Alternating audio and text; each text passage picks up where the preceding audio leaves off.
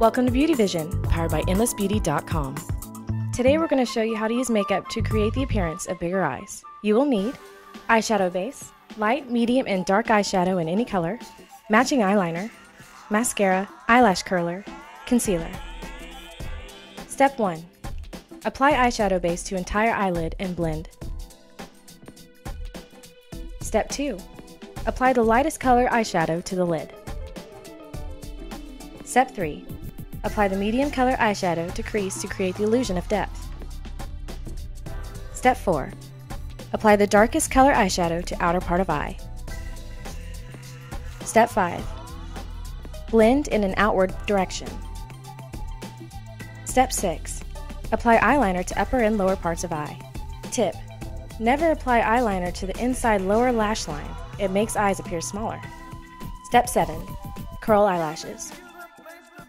Step 8. Apply mascara. Step 9.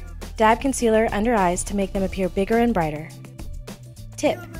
Dark colors close to the eyes make them look smaller. Thanks for watching Beauty Vision. Now your eyes look bigger and brighter.